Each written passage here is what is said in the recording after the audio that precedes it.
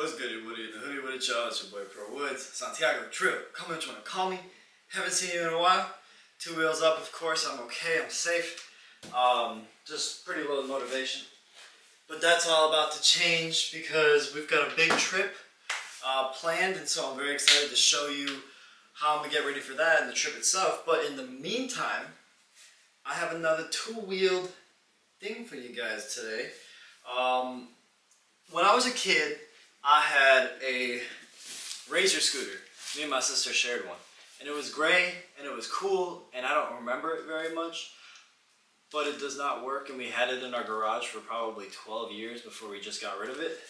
So I decided with all the two-wheeled vehicles I have and the fact that all of them are over 17 years old. I think my newest got an 08 and 07 and 01 and an 87.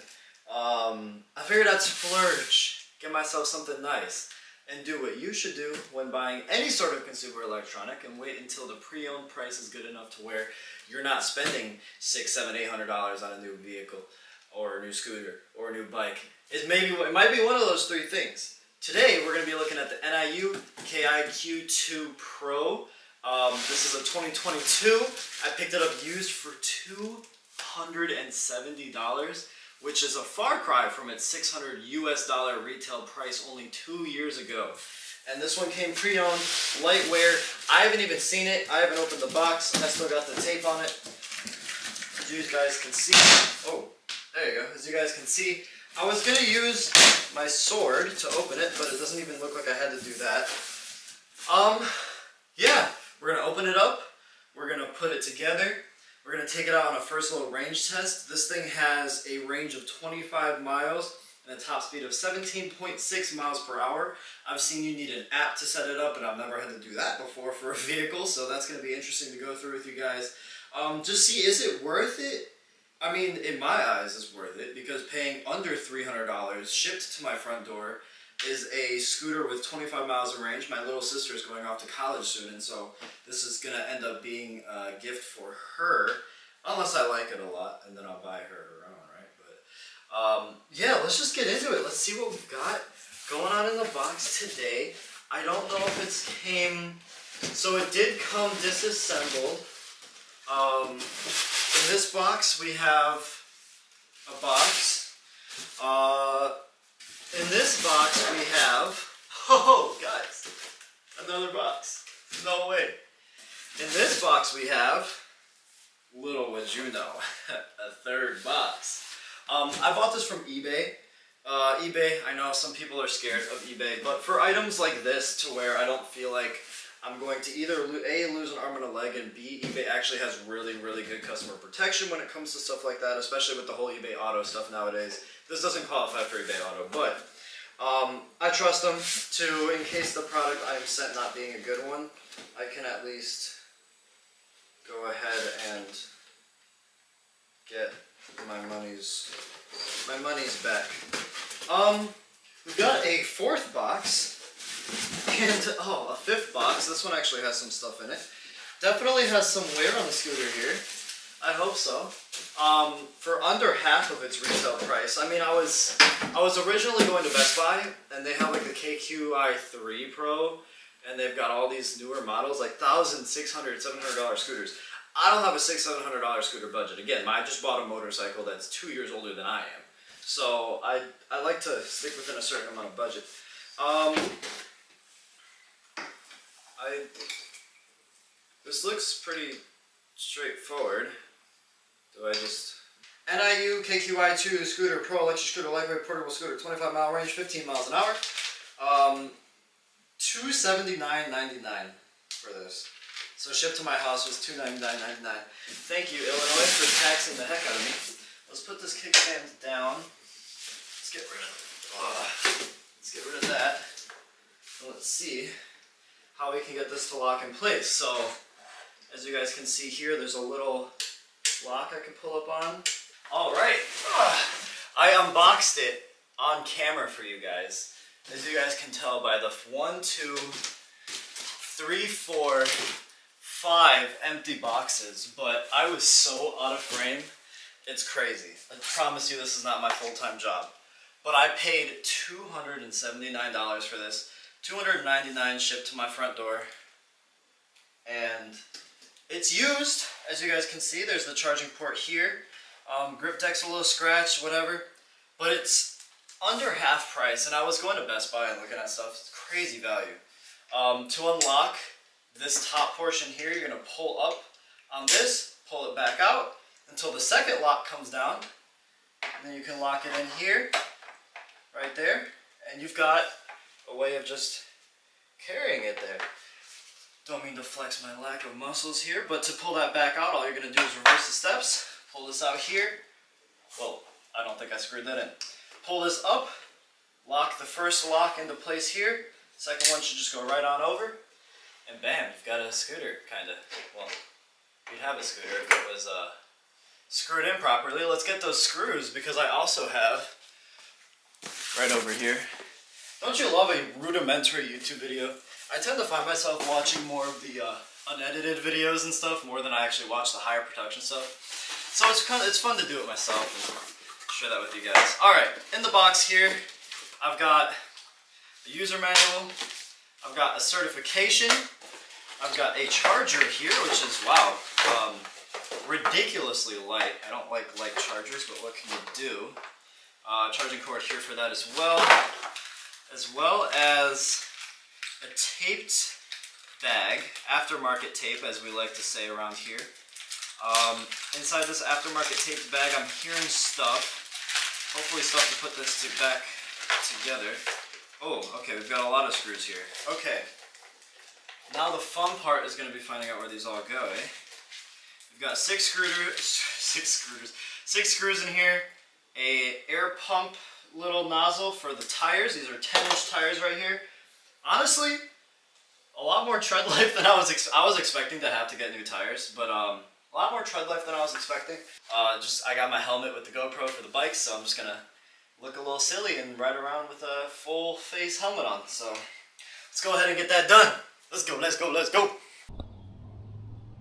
All right, it's time for the fun part. Um, we're going to take the scooter out. Obviously, we've got it at an undisclosed location. I actually really want to test out how this thing would do off-road. But um, it is a really pretty scooter. You can see the headlight here. Always on headlight, always on. You can see there's a little bit of wear and tear on it. Um, the tires are actually um, super deflated. You can see here. I can push all the way through them. So I'm not gonna, I'm not gonna hold it against it. But I do think it would help to deflate them a little bit. Maybe not this much, but for the uh, for the off-road test here. As you guys can see, it's got a display right here. It's saying it needs to pair to Bluetooth. I don't have a phone on it right now. For it to go forward, I thought it'd be like a twist, but actually it's just your thumb here, gets it off. Got the bell here, kickstand, I'm digging into the ground, but um, yeah, at five foot seven, you can see I'm actually super down low on it, which is super sweet. Um, we're gonna take this thing out and we're gonna test its off-roading first. Whew. It's got the, um, it has, doesn't have just kickstart. So people don't like kickstart scooters. Some people don't. Um, that's where you have to kick off for it to let you go forward. This scooter actually just has throttle start, which I think they added in a firmware update from the videos I used to watch on it. But um, yeah, I've got it in its full mode. There's also an eco save right here so it just lowers your top speed, lowers its acceleration, so you can cruise around without having to do too much, right? So make sure I've got it in frame here. And yeah, just going along the road. I got a full helmet on. I got my gloves on. I probably look a little silly, but hey man, for the safety. But yeah, this limits your speed to about 12 miles an hour, 8, 9, 10, 11, 12 miles an hour. Um, it's handling the pathing like a champ though. I wonder if I can... Oh. Oh, scraped it. Oh, scraped it so much I lost my camera. There we go. This thing might need to be tightened a little bit. There we go. Oh, still doesn't, still falls. All right, there we go. But yeah, Woo. handles this kind of stuff like a champ. Honestly, it's doing a pretty good job. Um, when I was a kid, this used to be, used to be able to see the everything, but it is just all marsh, all swamp here. And with it only weighing a little bit under 40 pounds, you could really throw this thing around if you wanted to. You don't really have to worry about it um, getting too much in the way of anything. Or like your ability to kind of like pull it around. You can kind of just, oh, you can kind of just throw it around. So let's take it off of e-save mode. I'm not sure if you have to stop or not for it, but I'm going to anyway. There we go. Oh. There we go. Let's get back to the full power mode. But yeah, it's taking this as a champ. You've got slight inclines here, stuff like that. It's doing it really well. Just kind of flying around here. It's not like, you know, some crazy obstacle course or anything like that, but it definitely has its bumps and grooves, got its branches and stuff. Small little branches. As you can see, I'm flying. I'm going 15 through this place like it's nobody's business. I mean, this thing is pretty rad, you know, just for having something to get you out and around without needing to, oh, I might need to learn how to ride it a little better, but yeah, just for something to get you out and around town and stuff like that, does a pretty dang good job. Let's uh, pull the POV up here more so you can see kind of what I'm going through. Uh, just some pretty back, back road, backyard kind of thing. Oh. It's uh, a small little forest reserve we have um, in an undisclosed location somewhere in my area. But yeah, it's taking the stuff like a champ. I'm kind of just flying through this. Actually, this is much better than I thought it was. I'm assuming the air down tires are actually giving me quite a bit of confidence here because I, uh, I'm not feeling unstable at all. I'm not feeling the bumps kind of like throwing me around. I'm just kind of cruising for a bruising right now. But I am also very excited. Let's uh, pull the POV back down because we're passing some backyards here and I would hate to, uh, I would hate to be that guy, but we're gonna take it right here and we're gonna go up a very very steep incline here. Um, I'm really excited to see how this thing will perform. The steep incline right there. As you guys can see if I look ahead on the camera we can take it out go for a little walk. As you guys can see I'm going up. Probably see I wish I knew my degree. There's a little bunny. Oh there's a bunny over there. Oh I'm probably going up a good 25 feet. At the very end, it's actually a really steep incline, so I'd love to see how the NIU does here. Wow, hold on. This is a great place to take a picture. Holy cow. Let me, uh, let me get my photo going here. Let's, uh, get our picture of this thing. Oh man, with the sun in the background. This thing looks nuts honestly, it's really funny to say, oh yeah, it's a really pretty scooter, but that always on headlight actually works so much in its favor. Let's see if I can zoom out more. Get something like that. That is sweet. Okay. Let's get back on the road. I got two bars of range. That's how much it had when I got it. I put it on the charger for about 55 minutes. Um, the charging time on this thing is about seven hours, which is its biggest downside. But if you're not gonna be like, you know, going too crazy with it or taking too many commutes with it, you should be more than fine. I am foot to the floor right now, or finger to the throttle. I'm going about 11. Very bumpy here.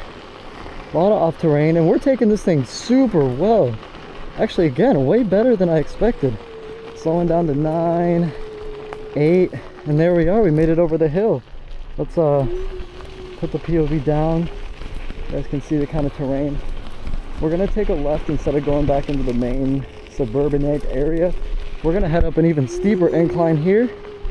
Foot to the floor pedal to the metal. We're going about seven. Takes a lot of wear on the battery. It's wearing it out. But it's going pretty well and there we go. We made it in and through yeah, this thing is this thing is rad. Oh, Ooh, did a little drift there with my back tire. I lost my grip. Let's head down here. See what's going on. Oh man.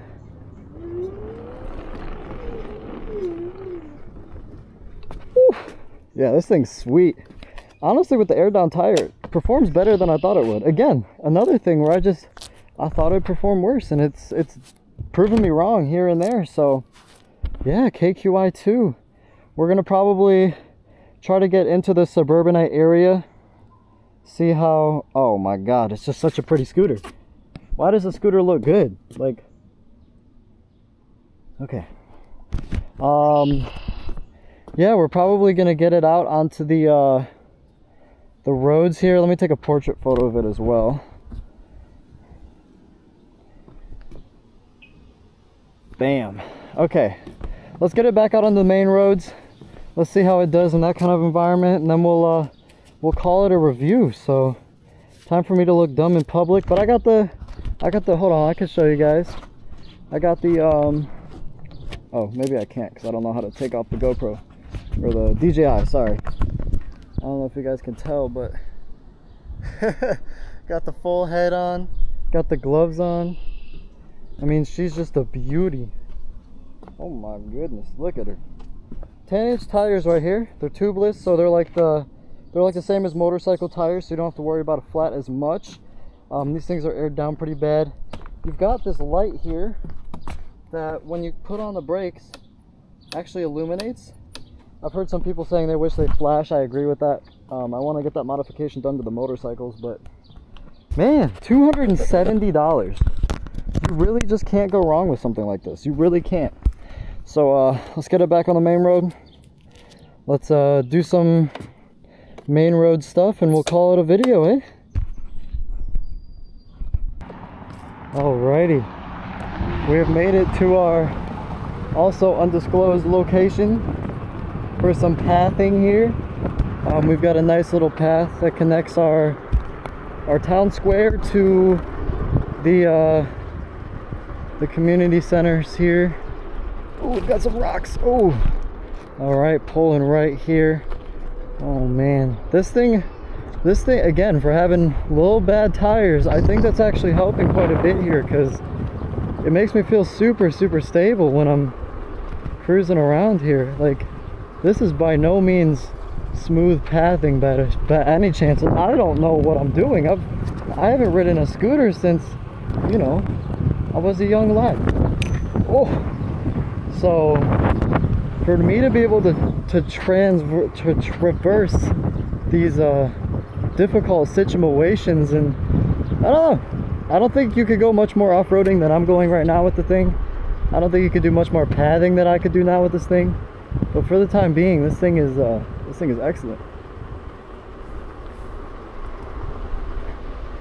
Flying through the pathing here. You can see we're going 17. Uh, it seems to be about where this thing's capped. Again, we're low on battery here.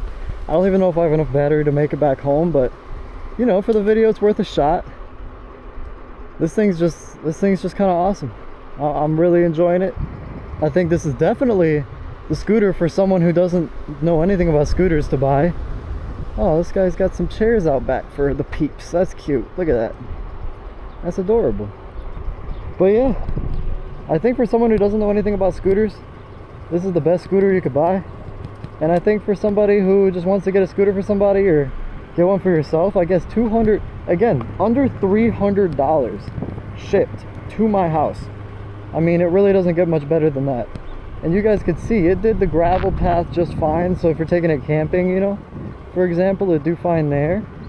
Um, oh, it looks like we're going over a bridge here in a park. Let me make sure the camera's down for the park. Look at that, fly right through. Nobody's business. Oh, we've got a, we've got a toddler in the room. Uh oh. Sorry.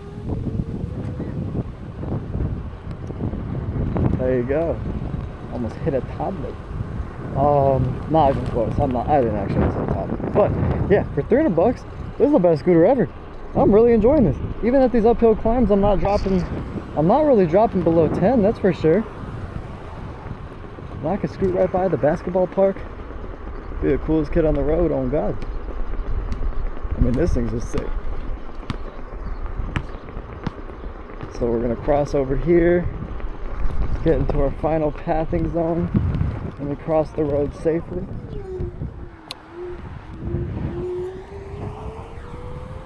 just like being a motorcycle you gotta watch out for your uh, you gotta watch out for your uh your things to go wrong huh? But yeah i hope you guys enjoyed this amazing this amazing scooter. Now i gotta get all the way home on one dot of charge so we'll see if i'll even be able to make that If you guys did enjoy the video, leave a like, subscribe. You know, I, I enjoy making these videos. I, it's hard for me to motivate myself to edit them together. Or what I do is what you call editing. Um, sometimes it's hard for me to, to get the motivation for it. But when I get something and I'm excited about, you guys are the first to hear about it. So I hope you guys have a great rest of your day. And uh, enjoy my cruise on up to this gazebo here. Oh, steep climb, steep climb. This is gonna be the hardest test yet. Oh man. Yeah, this is a yeah, this is a super steep climb. We're at 10. Ooh, we're at 10, 9. It's getting even steeper. You guys can see how steep it is. 9. Oh. Look at that. Can I fit up the ramp? Ooh. Just barely. Oh, I'm crawling. There we go. I hope you guys have a great rest of your day. And I will see you guys uh, soon for the video on how I packed my motorcycle for my trip to Canada. Surprise! See you guys later.